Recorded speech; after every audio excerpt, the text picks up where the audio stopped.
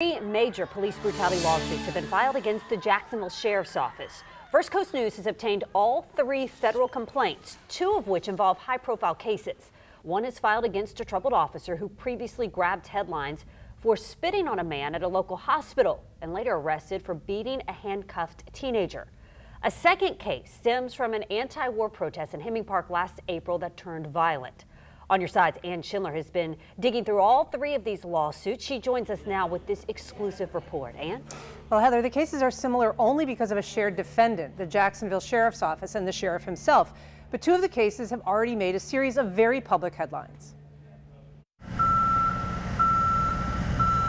His face looms across the city on this mural at North Florida shipyards. I'm partially deaf, so I'm in this sign. But Connell Crooms may be just as well known for this moment when he was tackled by police during a protest over U.S. bombing of Syria. You're not allowed to use amplified voice. Five protesters were arrested after the protest at Hemming Park turned into a melee.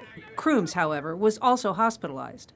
According to the lawsuit, police tackled and tased Crooms, who is deaf, rather than the instigator of the violence, counter protester Gary Snow.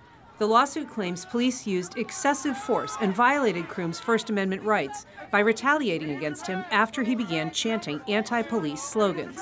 All of the protesters were initially charged with inciting a riot. The state attorney's office later dropped charges against two of the five, including Crooms, and reduced charges against the others.